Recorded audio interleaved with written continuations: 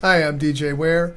On this episode of the Cyber Gizmo, I, w- I have gotten a bunch of questions from some of you asking about a video I did where I mentioned the term guard.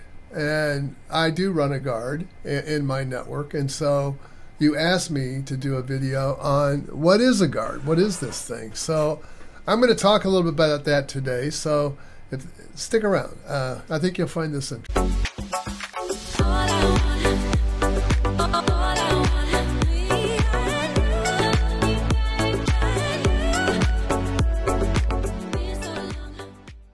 There there's no way to escape talking about a guard without first talking about multi-level security because MLS is the basis for why we have guard. Why do we need one of these things?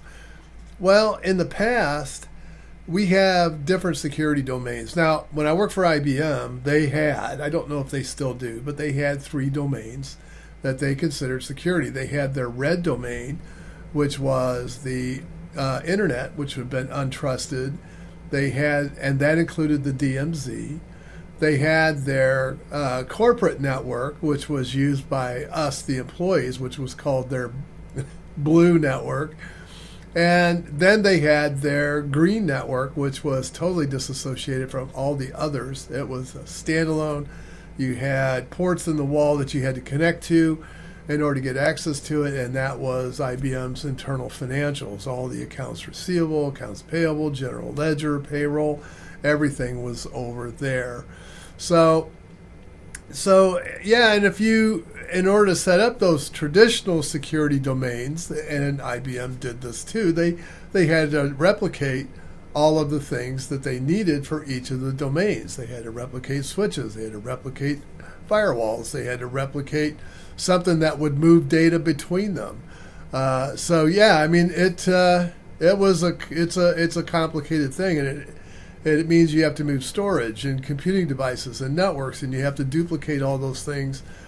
And there is they had sort of a primitive guard, but the only thing the guard did was it helped move one move data from one security domain to another.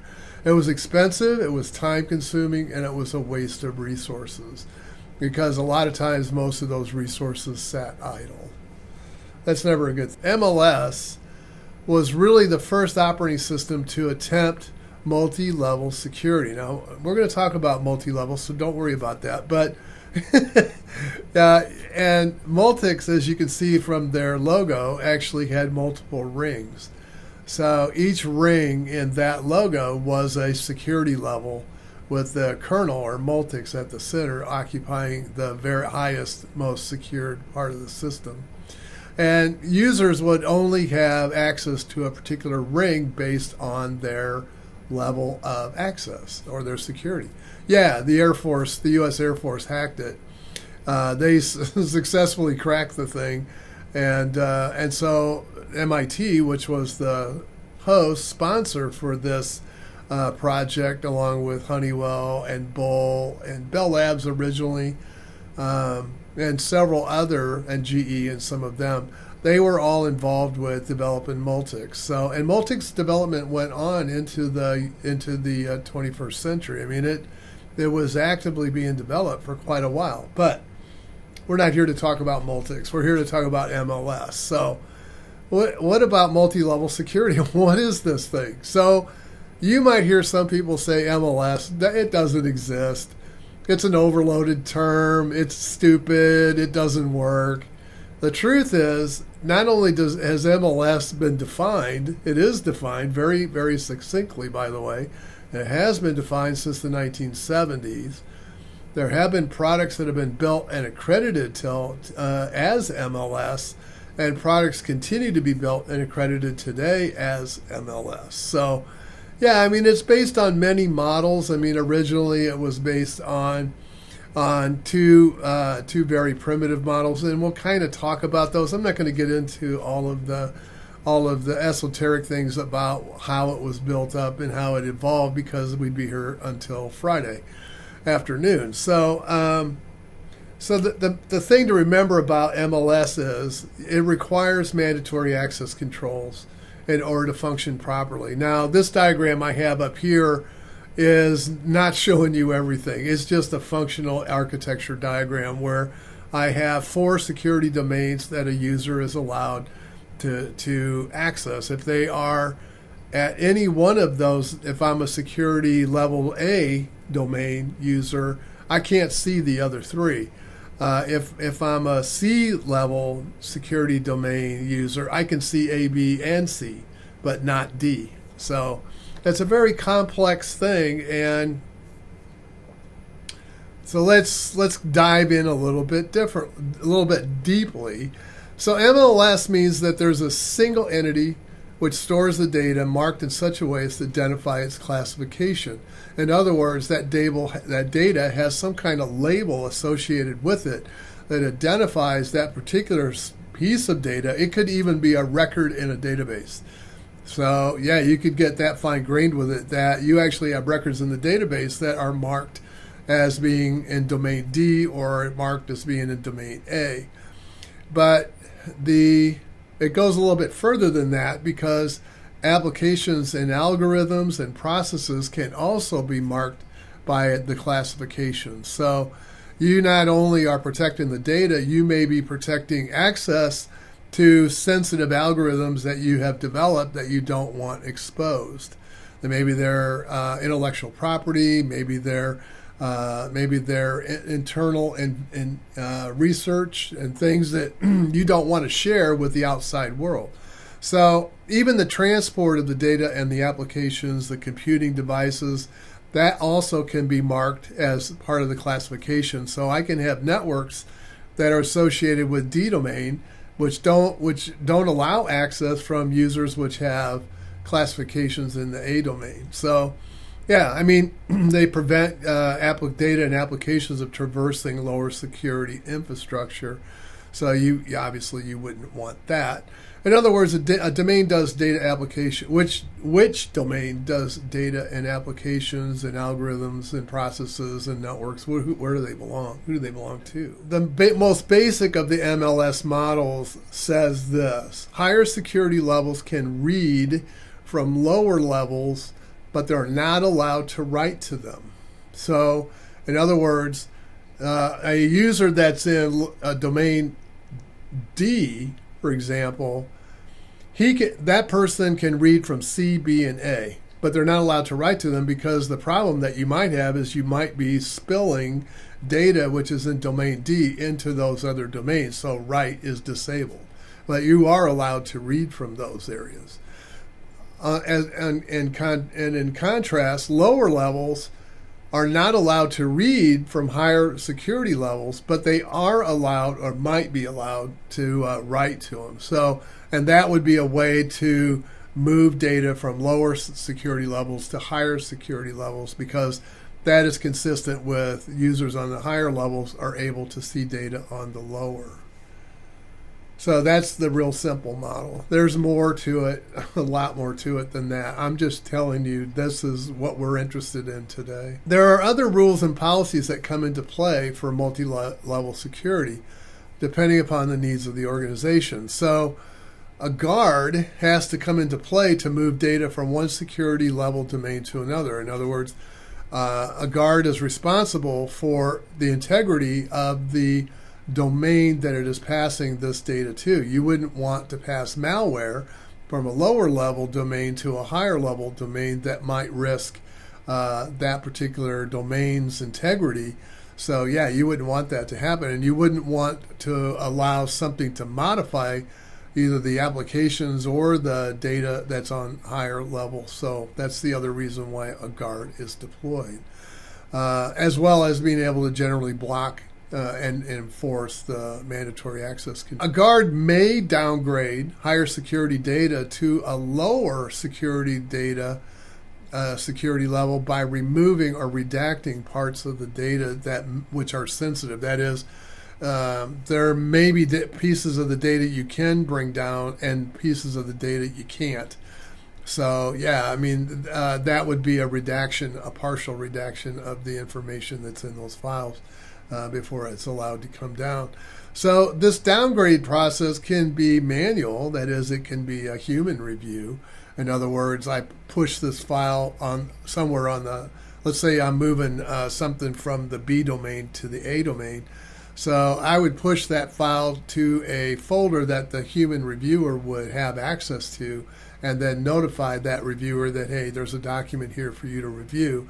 They would then go through and manually redact the portions of that document that they didn't want to have distributed to the A domain. So that means you have to have very well trained people that are involved in that in order to be able to make sure that the appropriate data is released and not uh, an accidental uh, leak of information that would have been on the high side or the higher sides of the network. The other one is it can also be machine assisted. There is there are algorithms which and there there's some of them that use AI and there's some of them that use just a whole series of rules to determine what to look for in a document. I know this is uh, to oversimplify things. MLS is designed to deliver the right data to the right person at the right time. And by the way, time is another factor in MLS. And, and there is a time component, and the reason for that is in classification systems, there is a lifespan. So if I classify something at, let's say, the C domain level, I would I would have to specify a date to, as to when that expires. Now, what happens to it when it expires is dependent upon the rules of your particular organization. So, let's say that it's 10 years old, that data may be expired to be destroyed, or it may be expired to be released into the public domain. So, yeah, I mean, I mean, it's it, it depends on the policies of the organization and what they intend to do. So, things like financial data, for example, probably are expunged after seven years, or archived, or removed off the system altogether. So, yeah, I mean, a time component is used to expire that classification. A, a, person with property security clearance can see data at or below the level of clearance. So we talked about that. However, the higher system can't leak information about even its existence. So, for example, let's say I'm a user on the A level and I'm accessing some attempting to access a file that exists on the B level.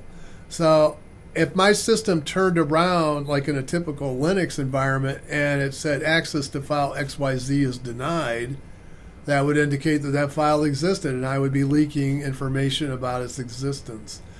So this exposes the existence of the file, and that would be considered breakage.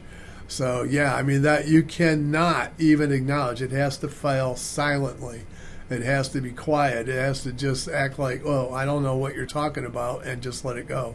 It can't say, uh, you know, the file's denied, the file doesn't exist. That kind. It can't. Yeah, it can't even acknowledge that anything is there there are some obfuscation techniques that were used years ago, like you might tell it that you know you have uh, maybe have baby buggies that are stored in this particular domain. And and but the problem is is that somebody eventually is going to be looking for baby buggy buggies and they're going to think there's one there and there's not. So again you have a spill of, of data integrity there because you're exposing information that you're you're masquerading that what that file system represents. So, uh, so what about this? Tr- what about trusted computing? That that always seems to come up whenever we talk about multi-level security. There are ways to implement MLS, and one of them is to use trusted operating systems. That doesn't mean that the operating system is one that you trust. It means an operating system that is designed for trusted computing, and there are rules and there are labels and there are things that exist. Uh, you can go look at the PCI spec, you can go look at HIPAA, you can go look at a lot of different specifications for security, and you will see clear markers on how these things are defined. Sun developed one a long time ago. It was called Trusted Solaris. It's still around. It's called the uh, Solaris Trusted Extensions today. And it has uh, the ability to uh, label uh, data. It even goes as far as protecting the Oracle database. There are labels even within inside the uh, data records inside of Oracle. So um, the problem with it was it was very complex. It required a lot of maintenance. It was slow. Yeah, it was slow, and as all security things are. So Haven't seen one yet that speeds things up. Many people just decided it wasn't worth the trouble, and they just went to less trustworthy systems like Microsoft Windows, for example. I'm not picking on Windows, so you know, it's just that when you're talking about this level of trust versus what Microsoft Vista called trust, eh, it's not the same thing. What about research that's going on in multi-level security? What what what, do, what is going on with it right now to kind of make things easier? Well, one of the things that's going on is this thing called multiple independent levels of security or MILS. And MILS has a layered architecture that is used to enforce information flow and provide data isolation security policies. So basically, what it is is it is a uh, a real-time operating system that sits at the bottom that provides separation and then on top of it, there's a number of managers that run, like the console manager, there's a token service driver, a file system driver, blah, blah, blah. But the real core of it is over to the right, which is the guest OS middleware. And then you have the applications on top of it. Those applications are actually siloed inside a virtual machine. So, yeah, you have your security levels on each one of those SL so you might have a domain A, domain B, domain C, for example, running on that box. And the separation is provided through the kernel and the services where none of the data is allowed to traverse.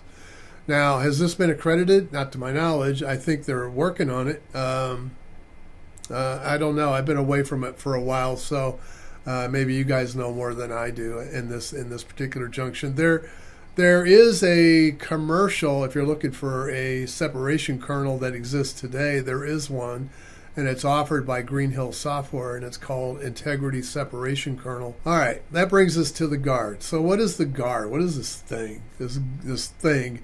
So, whenever you have multiple domains, you have security policies that have to be validated on every single piece of data that moves in and out of each single level domain.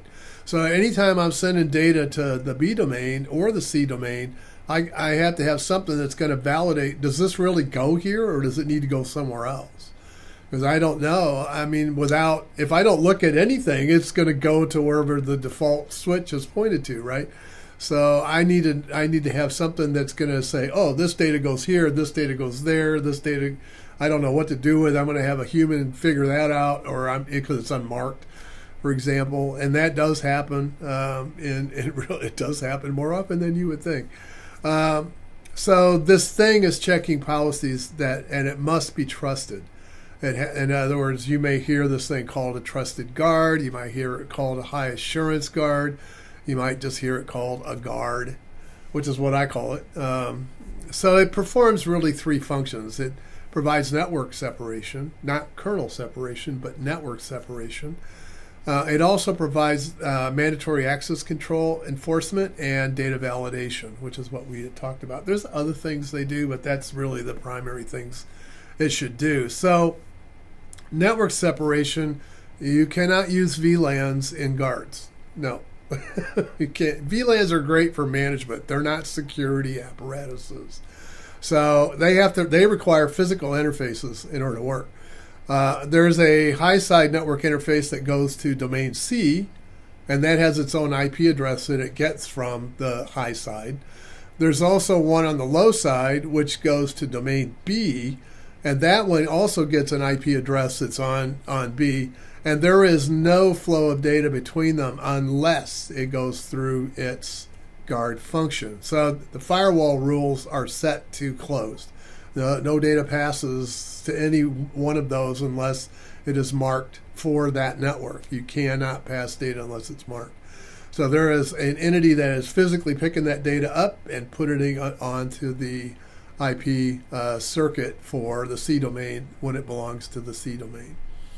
So yeah, that, and it enforces the source destination IP via a firewall mechanism, and I can tell you, and an application as well. They, they go hand in hand. There are mandatory access controls, uh, and that is the trusted operating systems such as Trusted Solaris is required to meet MAC requirements now.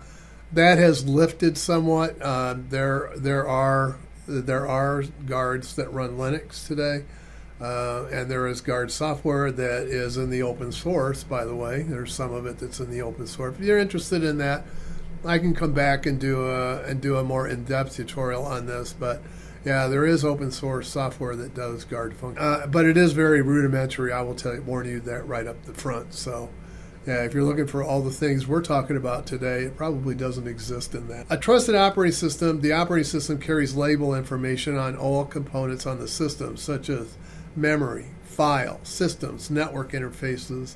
So everything is protected. So, yeah, I mean, these are probably some of the most complex pieces of software that I have ever encountered. Uh, they do provide APIs for systems such as other guards to move data between security levels. So, if you're uh, moving it up is trivial in most places, uh, it's moving it down that becomes a bit more work. Data validation, when data is passed from high to low, uh, data validation ensures that only the data authorized at the lower network security level can be passed. So you can have data that's marked for the B domain ex- exist on the C domain. That's possible. So uh, if you've encountered that and it has not been modified, then that data, and you have to ensure that that data hasn't been modified. In other words, somebody hasn't inadvertently gone in and added C level uh, data to it, that it can go back down onto the B domain, usually without a human review, as long as it's been validated not to have changed. Now, if it's changed, it usually has to go through some review process to have that happen. So there's several options that exist for performing the check. You can you can use classification rules to independently interrogate the data and determine the classification that the data has. Uh, you can ex- verify the existing labels on the data, and you can verify this digital signature on the data provided. Now, I can tell you that today, in most cases, digital signatures are required on most things. You might conclude that a guard is a firewall. Well, you'd be wrong. That's not, no, it's not a, just a firewall. uh, it's a lot more than that because it has services that provide the check on incoming files for malware and viruses, for example. You wouldn't want malware and viruses to escape out of a lower level onto a higher level security domain. Uh, that would be somebody's job. Um, it also provides services to perform both manual, human, and automated machine reviews where it can. Usually, what happens is, uh, at least in my experience, the automated review will happen first. If it fails, it goes over to a human review. If the automated review, if the person that's downgrading it knows that the file is going to require a human review, they mark it as such and, and it just bypasses the, the machine check. Uh, there's other functions such as protected streams, so you can have multiple streams of data, video, for example, coming out that are protected. There are checks for the digital signatures. There may also be checks for digital handshakes before the data is even permitted to, to move in either direction. And there's logging that occurs on every file or every operation that this thing does. So you might then conclude, oh, so a guard is SE Linux. I saw on Red Hat's uh, documentation page they implement MLS using SE Linux. Well, uh, yes, they do have a document that says that, but I'm telling you, though, that would not implement SL- MLS. Um, yeah, a guard has to have mandatory access controls in it, which is true. Yeah, you will, you can definitely do mandatory access controls with SE Linux. Uh, however, you also need to check that the incoming files don't have malware and viruses, which it, SE Linux doesn't do. You also need per, services to perform manual reviews when they're being downgraded and you need other functions such as protected streams, digital signatures, logging, which SE Linux isn't going to do for you. So I'm going to leave you with a couple of quotes that I've heard over the years. One of them is I always think uh, no companies have spent more on coffee than they did on IT security. Uh, if you spend more on coffee than you do IT security, you will be hacked. Yeah, you will be hacked. Uh, someone cracked my password. Now I need to rename my cat. The most famous of all was now I'm not worried about IT security. I store my data so disorganized I'll never find anything. Anyway, that's that's all I had for today. Uh, just trying to give you some idea of what a guard is. Uh, I, I mean, if you want to know more about it, there's plenty of stuff that's in the CISSP uh, materials on on MLS. So if you start headed down that road you'll encounter probably 10 or 15 different models uh, that are used in that space today. You may even encounter some of the research that's going on today.